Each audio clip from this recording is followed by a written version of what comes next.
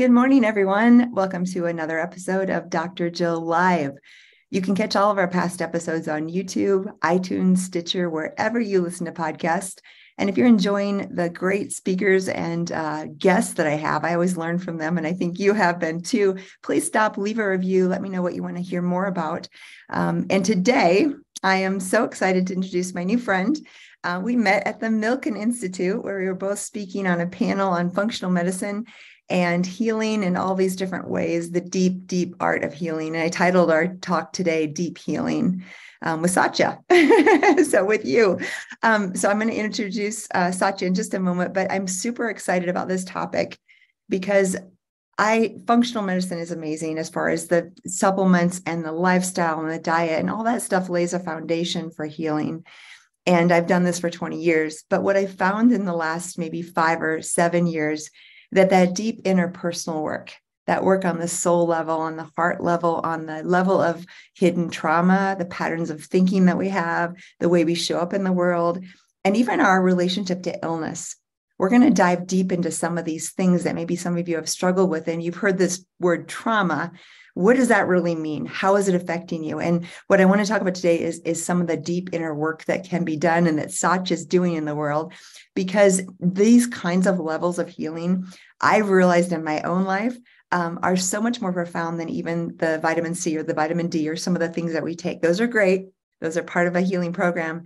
But this work on a cellular level about what we believe to be true about the world and ourselves and the things, how we interpret our experiences from the past and how we can even change and reinterpret that experience. We're going to dive into that today. And I'm so excited because to me, this level of healing is more powerful than any supplement, drug, nutrient, or even lifestyle that we can do. So, welcome, Satya. Thank you so much for coming in from Portugal. Thank you so much, Dr. Jill. It was a beautiful meeting in at Milken Institute and a great, great uh, talk that we all shared in that moment. It was so special. Unless I feel like I found some lifetime friends, you and Anna, and we were just talking. I'm hoping to come visit you in Portugal sometime soon.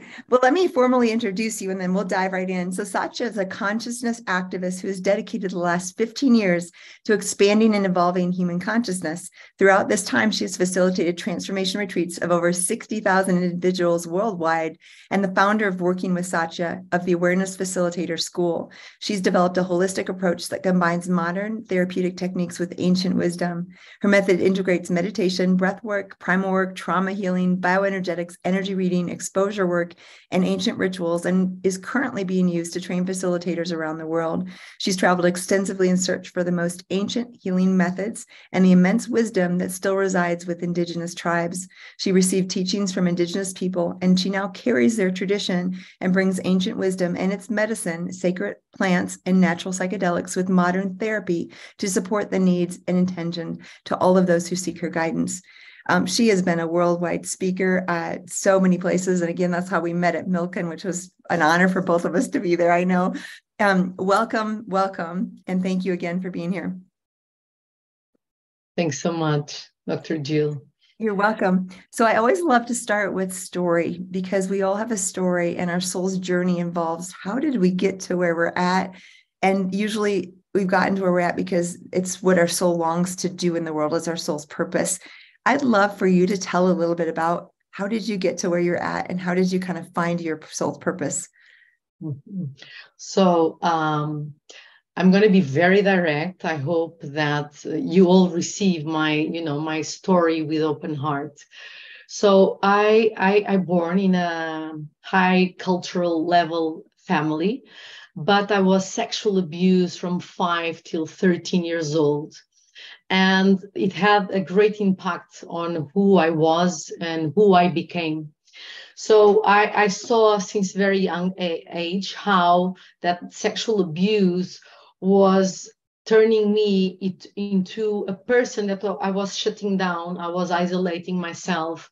And thank God I had surf I was uh, the first generations of surfers in Portugal, wow. and and I found meditation at the same age, at 11. So in that time there was no internet, as we know. Was i'm 45 now. So i was a lot of time in libraries trying to find some resources to help me because in that time psychology was a taboo was only for sick people mental sick people. And so i started very uh, in a very young age reading and trying to practice meditation and to understand how i could allow myself to deal with that. Of course the maturity of my uh, emotional and mind emotional system and mind was totally different from what is now. And i want to say that my mother was a psychologist. Wow. So imagine in the house of science and psychology and I couldn't really ask for help. So I started to do that. And at 16, I found a therapist. I asked my mother, I need a therapist. And uh, and I dived deeply into spirituality. So what I found was in spirituality, I was gaining a certain awareness of how our life goes beyond the matter world, beyond the body, beyond the physical sensations. And so I was meeting peace in the spiritual world and how I could go beyond my story, that the story didn't need to own me, yes. but I could own my story.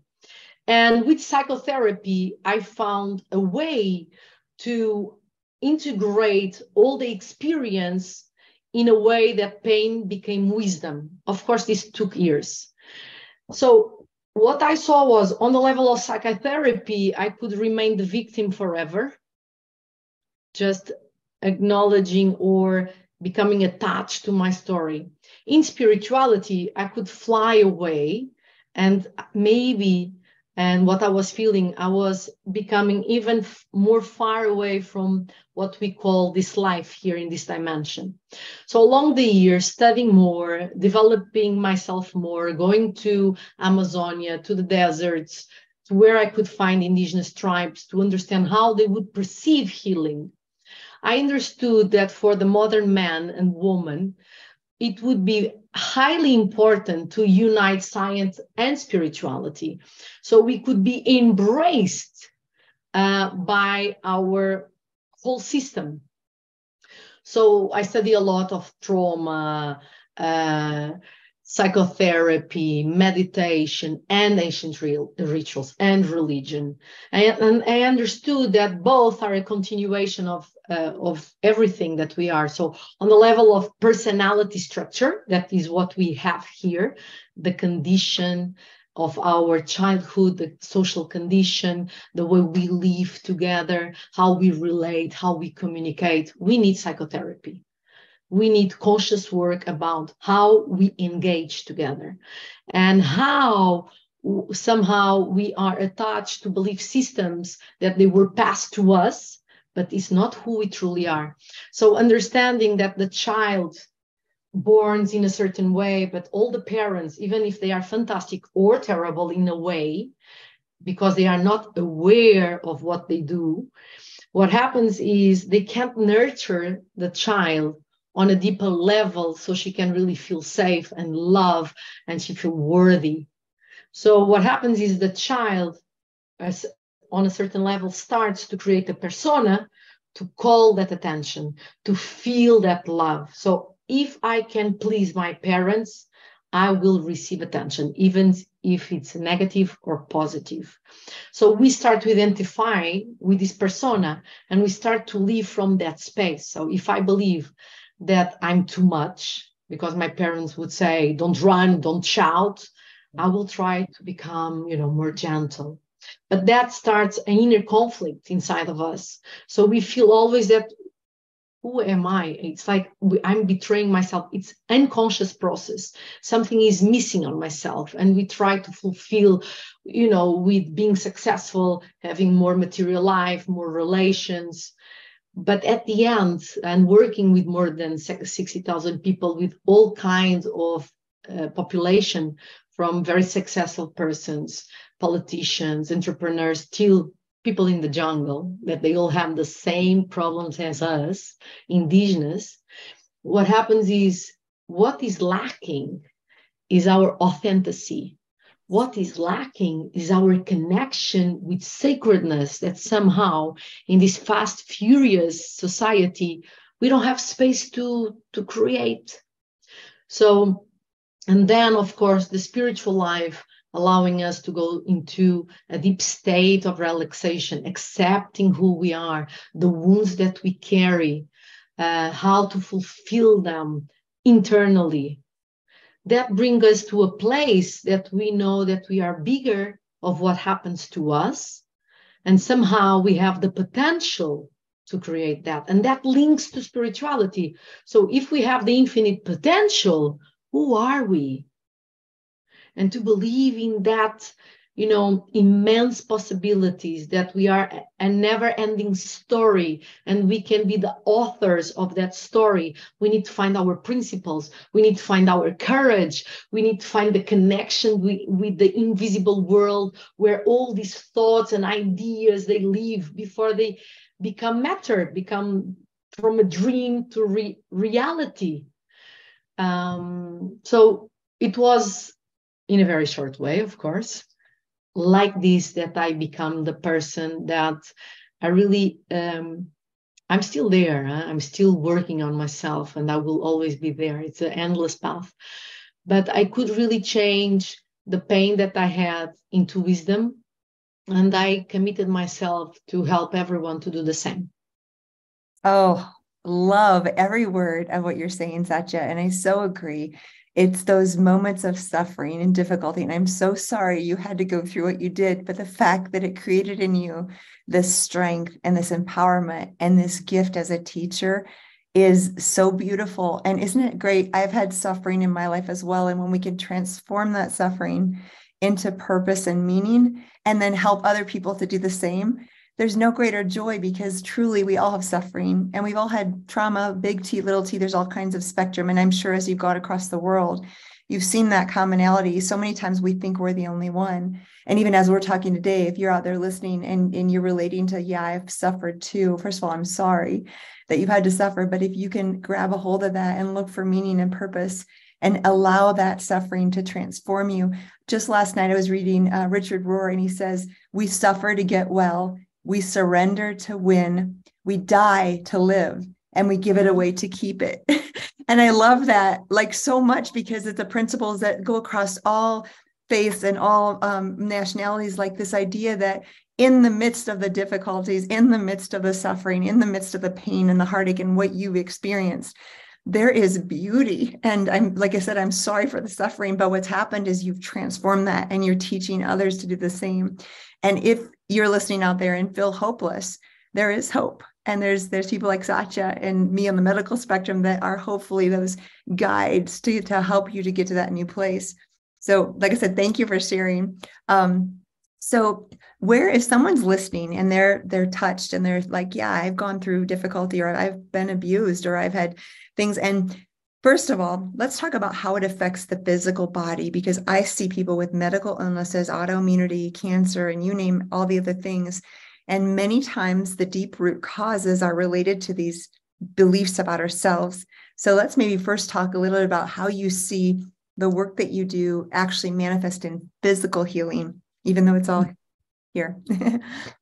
I, I believe, I, I really believe that the body is not separated from the mind, from the emotions, and from the spirit, from our soul. So the body uh, is more dense, has matter, has a, a, pace that our mind is much faster. We can imagine, we can create. Emotions are um, the, the link between what we think and the sensations in the body. And of course the feelings are the subjective meaning that we give to the experience. I want to say too that you don't need to have a very intense experience to call it trauma we can have traumas uh, in a totally different uh, spectrum because what happened to me can have an, a consequence and what happened to another person exactly the same situation has another consequence totally different. Maybe for me it's lighter for another is heavier or vice versa. So a trauma is not what happens to you is how you relate with the experience what that provoked in you. So, for example, just parents that they were shouting with each other, maybe for a child is a it's a really big trauma. You you feel the nervous system uh, very activated. So, what do I see on the body level?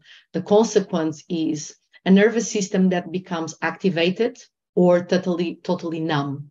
So the person goes nervous and anxious through life, or a person just isolates and withdraw. So they don't trust on themselves, they don't believe on themselves, they don't fight for what they want. And these ones are in conflict most of the time. Signs, physical signs in the body are, as you said, all these diseases. Cancer is one of the biggest diseases that is a manifest, manifestation of trauma after some years.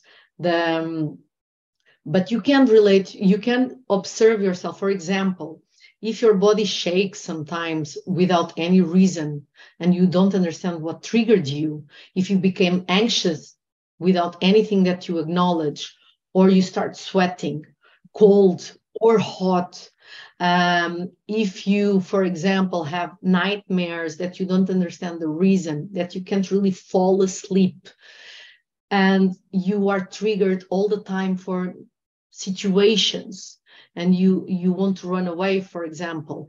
These are emotional uh, signals that something is inside of you. But when you start to become sick all the time physical sick something in your system is highly traumatized and normally, what I perceive with years of working with people is our body is a container for all our experience. So it will manifest the quality of your inner life. So if your body is becoming sick, especially year after year or week after week, like pain in the throat, many times the pain in the throat is because you can't really express what is really going on in your soul in your heart. You are afraid. Maybe because when you were a child everyone would say shut up. You are dumb or your opinion doesn't matter. So and what we work is we go to the childhood or other dimensions mm-hmm. uh, because one of the ancient healings that we use is natural psychedelics in the jungle that is a profound work it's a journey into your unconscious life mm-hmm. so you remember what happened to you and to your ancestral lineage because we receive the memories from from dna but not only the emotional um, heritage comes. Sometimes, sometimes we have feelings that we don't understand even why, but is highly connected with our grandparents. For example, people that they were on the Second World War. You know, yes. there's a lot of fear, a lot of mistrust. Black people, the way we enslave them, or indigenous people, how we pretend that their way of lives and rituals and culture doesn't matter. So they feel totally isolated and humiliated so all these are is in our body, is manifested. So I believe that medical care and this awareness about what happened to us, they need to live together. Because if we have a good physical body, like with all the vitamins, it's a support. Yes. So all the emotional life and consciousness to flourish and to heal. Oh. Hey, everybody. I just stopped by to let you know that my new book, Unexpected Finding Resilience Through Functional Medicine, Science, and Faith is now available for order wherever you purchase books. In this book, I share my own journey of overcoming life threatening illness and the tools and tips and tricks and hope and resilience I found along the way. This book includes practical advice for things like cancer and Crohn's disease and other autoimmune conditions, infections like Lyme or Epstein Barr, and mold and biotoxin related illness. What I really hope is that as you read this book, you find transformational wisdom for health and healing. If you want to get your own copy, stop by readunexpected.com. There you can also collect your free bonuses. So grab your copy today and begin your own transformational journey through functional medicine in finding resilience. And to heal. Oh, I love that. And so profound. Like I said, Um, and you earlier talked about um, whether those messages in our childhood that our parents were doing the best they could. Often they're usually, but but they could maybe nurture a certain piece. And so, like I learned, you know, a while back that that achievement oriented life, which is very common in especially in the U.S., the um, achievement I always I titled a chapter of my book "Will Work for Love." Basically, like the idea that working, achieving success is the way of receiving love. And maybe there's a message way back that, again, it, my parents were amazing. So it wasn't their fault, but I somehow perceived that I was only worthy of love when I was achieving and getting good grades. And so then I kept going on with that. But that can be an addiction like any other and a response to trauma that I'm not enough, that just being is not enough. I have to do, right? That doing and being. So, how do you start? Obviously, the psychedelic work and all that is profound. But if you're doing some, you know, early work, or say someone's like, well, how would that benefit me? What would you talk to someone who's just interested in this and and not, not really had any experience? Where would they start? What would you say to them? Um, First of all, the psychedelic work is very delicate. Mm-hmm. Uh, it's not a drug by mm-hmm. the is considered medicine in these countries, in these cultures, because they they have the capacity to open ourselves to places that sometimes not even therapy for a long time can help us because we understand with the mind but somehow we are disconnected between the mind the the feelings the heart yes. and the physical body so in that the, the natural psychedelics they load the the, the defense self mechanism so they lower it so we can have access of it going back to the experience and to rewrite the story, to understand even the reasons why. But it's very delicate. So this work, they need to have a preparation. We need to understand if medically you are able to do physically, because there's a lot of people in their condition that they can have for example, diabetes, depressions, schizophrenia, heart problems. There's way to, to work with them, or we can't even work. And there's the the work itself and then the integration mm-hmm. that takes a long time and we need to be supported. So it's something that we need to work with people. And if for any reason you feel the call you need to take information. You need to understand. If the person doesn't do any any medical interview about your physical body about your mental history about your lineage even you know you need to be sure that maybe they are not aware of the how they can really support you and do a true work with you. That's I, I was going to yeah. say, I love that you're saying that. I want to emphasize because this is becoming more popular now. But the things that you said, number one, it is sacred. This is this is not something that that I think uh, the sacredness of it cannot be emphasized enough. And number two, um, the the container that you create as an expert for these people who are going through that is so critical. I believe that with all my heart because people are experimenting and not really having that container. I think without the safe container to process what comes up, it can do more harm than good, right? So I love that you say that because I'm all for your work and I love that. But we need to encourage people to be with an expert like you or, or someone who's doing that because it really is a place where number one, there's sacred work being done, but number two, there's things that can come up and you need to have the container the group the support the expert with you to be able to process that in a safe way yes because this is about our life and health mm-hmm. is not another journey that you right. want to numb yourself or to right. relax no, it's the opposite it's really profound and it will open doors to spirituality in a very deep way that normally in our society we are not aware of it. So all the experience about dissolving the ego feeling oneness maybe feeling love for the first time for you know the entire humanity can be very overwhelming because then you look how you are living your life. How are how is the quality of your relations? And you feel a big conflict. Yeah. and the process of transformation uh, it's more uh, a melting yeah. destruction of so many belief systems daily life habits that we need support is strong till we go to a moment where we integrate and we really see our true change. And takes time because we live in this dimension because we live with our families we live with people and we are people with addictions we are people with fears we are people that we want to be totally safe even death you know we don't speak about death in our society. And it's the only thing that we are sure that will happen yes yes i totally. No i love that i want to talk just briefly about that because that's a hard thing to talk about especially and even in medicine that's part of the thing with physicians who are trained like myself we're taught to do everything we can to avoid death which is great right? We hopefully are saving lives but ultimately every patient i see is terminal.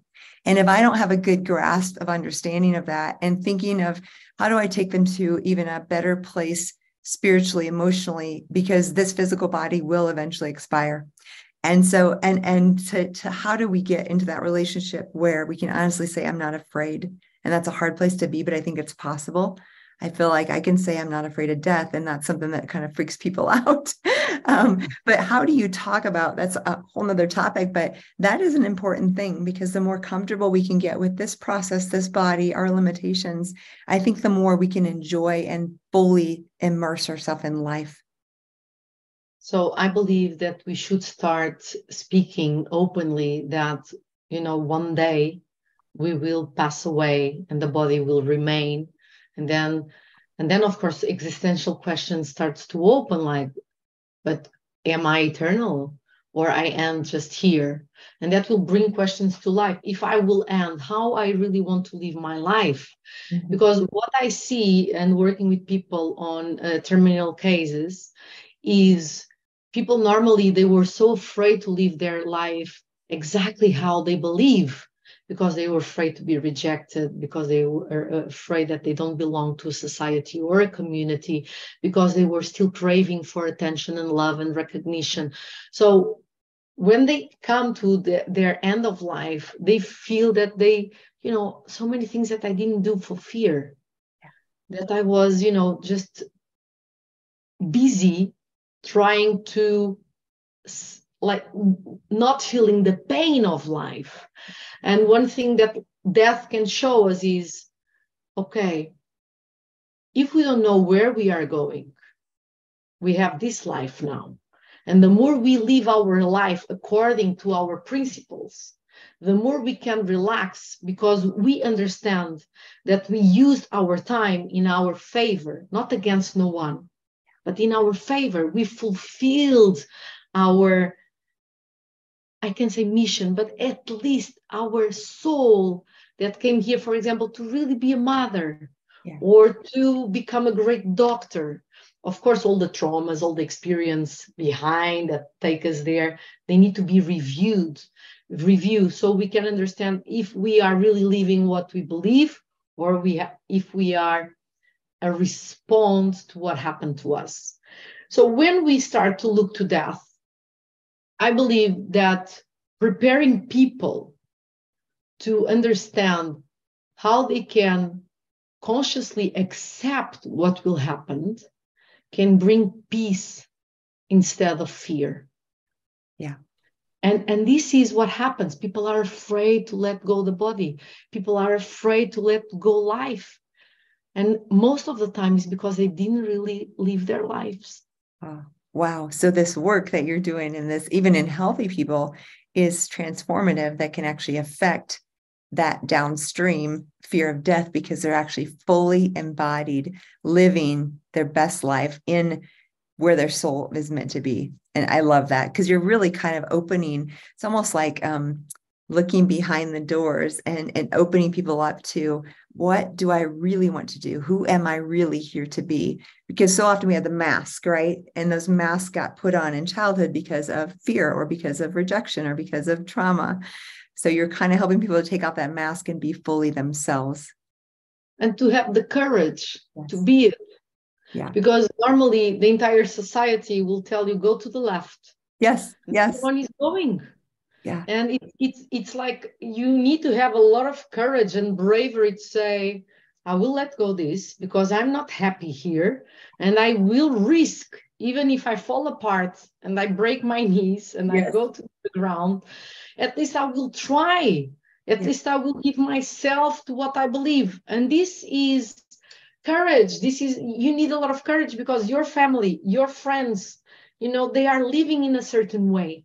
Yeah. And that's why it's so important to have people like you, people that people that they really transform their lives with books, with videos by their side, saying, you know, it's possible. Yes. Yes. Oh, I love that. Because you're right. Because you're that story. I hope to be that story too. Is like you are that story.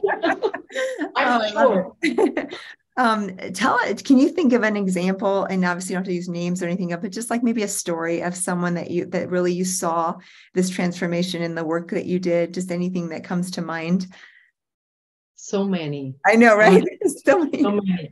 But I will tell you two things. One that was. Um, I think five days ago, uh, an Ukrainian, uh, one of my second homes is Ukraine. I, I'm there for the last 13 years working. So with the war, uh, I had to stop going there. So I have a lot of people that we brought from Ukraine. Uh, we sent more than uh, 700 tons of medications and food. We gave homes, free homes, and jobs for more than 3,000 people.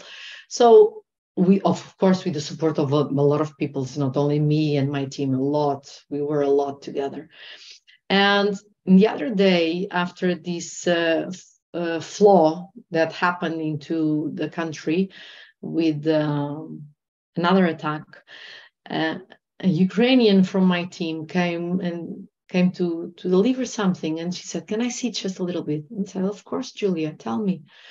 And she's just grabbed her face and start crying say satya i don't want to surrender to hate but today is really hard i don't want to teach my daughter to hate russians because i know it's not the entire country but today is becoming really hard.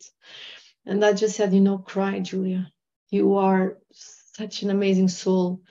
You know you are seeing inside of you this hate coming this pain that is immense. You know she had to leave her country start a new life. And she has the courage to say i'm feeling hate and i want to fight against it i don't want to surrender to it so this is the product of years of years of a conscious work about herself it's amazing I was astonishing, astonished with her. I was like, wow, yes. a very brave soul.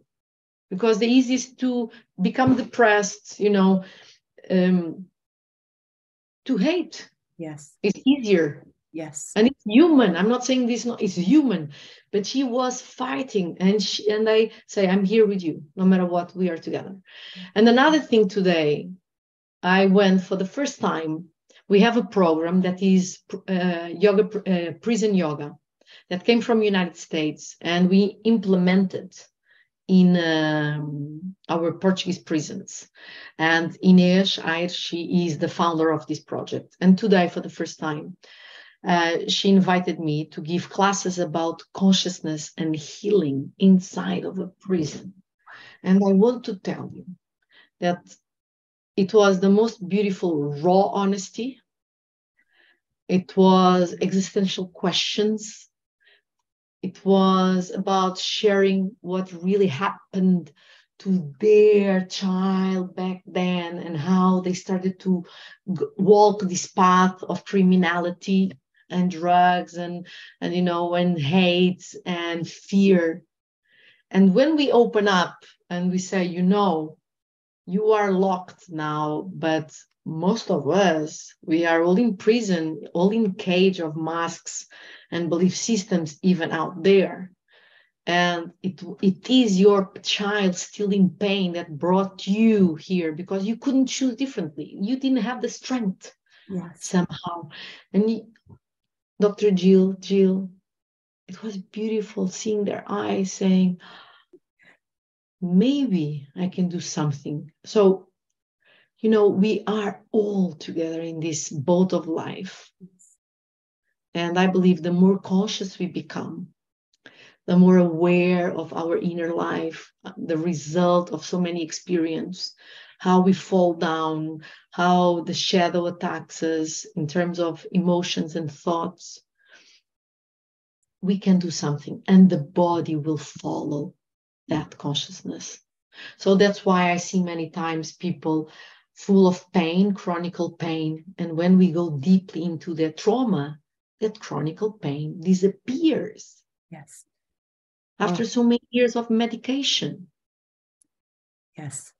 Thank you for sharing those trials and tears. but, but it's so profound because what two things that you shared were shame begets shame in so many of the worst behaviors that we see in criminals or even in ourselves or anyone is related to shame. And when we heal that shame with compassion, which is what you brought to those prisoners, you brought this deep compassion to see them for who they were, who they were before they had to put on all those masks to survive.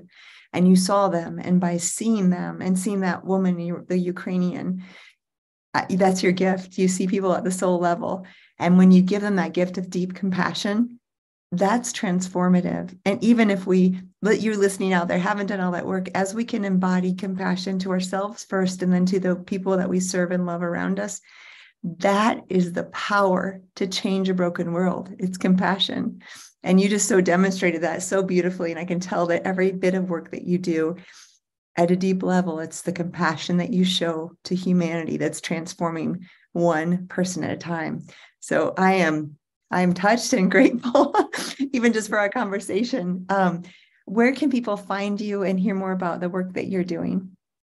So we we are at uh, working with Satya website that is workingwithsatya.com and at our Instagram and soon a book will come out Yay. and you know and all over the world where we are traveling, uh, teaching people to become awareness facilitators, people that they want to come to retreats or to have online sessions. So we are really there for people. And uh, I hope step by step that we can reach the biggest amount of people, but from a, a true honest space, sacred space, treating people, anyone as sacred because is what we are. We are we are sons and daughters of this life and this life is a mystery. It's it's not just matter eh, how, how we were created till how science can't explain totally. Yes. it can't it's still on the search and that search is beautiful and it's important. But if we stop and think we don't have an answer. And that is magical is mysterious. It's it's what makes our soul to search for more. And i believe that we are in a period of true evolution for all of us. We are having the possibility to really transform ourselves and coming out the daily life that is only mechanical and material and eating and having sex and working and to go to a place of deeper connection. We disconnected from nature. Nature is our home. We need to recover and that's why i really bow to indigenous uh, cultures because they still connect yes. and they they still live in harmony and respect. They really feel that it's their mother yes. giving them food air water. And we lost this Mm-hmm. So this connection with uh, uh, the ecosystem, as we are part of it, is like a spiritual search for who we truly are, for our place in this planet. Yes. And if we are the only beings that we can create science, poetry, language in this level, this deeper connection that we even find place to heal the body and others, compassion. We should be the keepers of life. We should be the protectors yes. of oh. all life. Wow. Well, it has been such a joy to talk to you. Thank you for sharing your wisdom here. And uh, I can't wait till your book comes out. We'll have to have you come back to talk about that. Um, but blessings to you, my friend. Deep gratitude. And I, I wish that a lot of people the biggest amount of number of people can listen to you because your message is really important and really touch my soul. So I hope thank you.